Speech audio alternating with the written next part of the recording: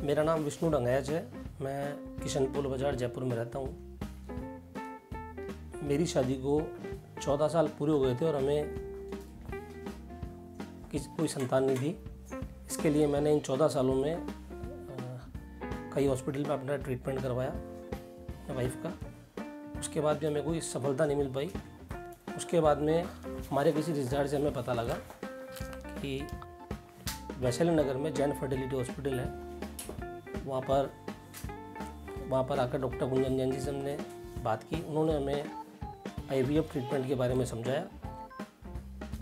उनके द्वारा दिए गए परामर्श से मन में एक विश्वास पैदा हुआ।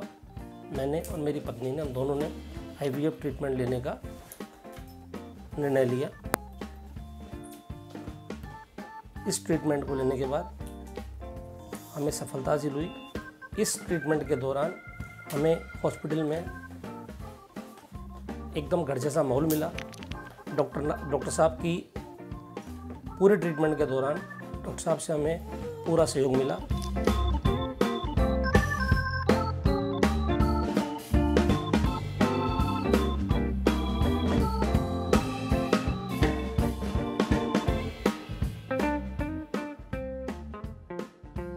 डॉक्टर ये सुबह उठता है। हाँ बिल्कुल हाँ।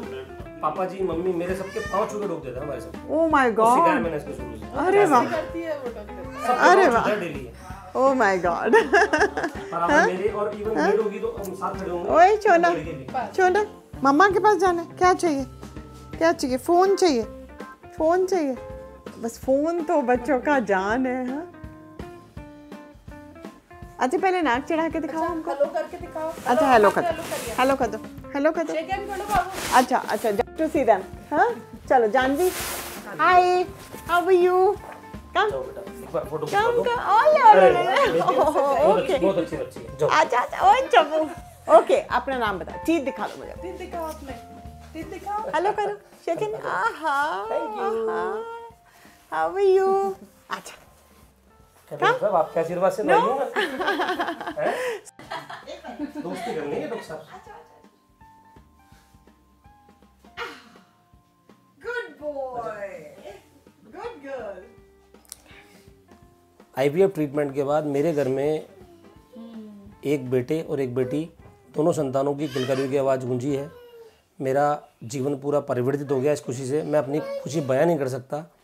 मैं सभी लोगों से आग्रह करता हूँ कि वे निराश न हो और एक बार मेरे आग्रह करने पे Jain fertility and mother care hospital जो वैशाली नगर में है डॉक्टर गुंजन जैन से एक बार आकर परामर्श करें उनसे सलाह लें अपनी समस्या उनको बताएँ। ये मैं आपको विश्वास दिलाता हूँ कि आपकी समस्या का समाधान आपको यहाँ मिलेगा।